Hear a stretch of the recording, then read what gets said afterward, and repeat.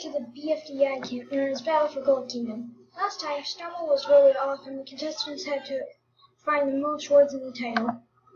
After leaves, I think we used the wrong strategy. We should have gotten rid of one of the Bubble Blaster's active players.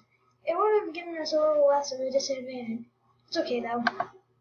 Would anyone like to form an alliance with me?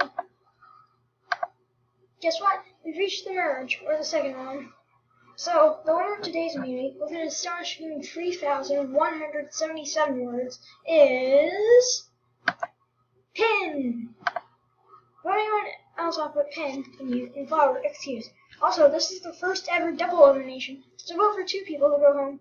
Or, well, the TLC, I guess. Voting ends August 4th.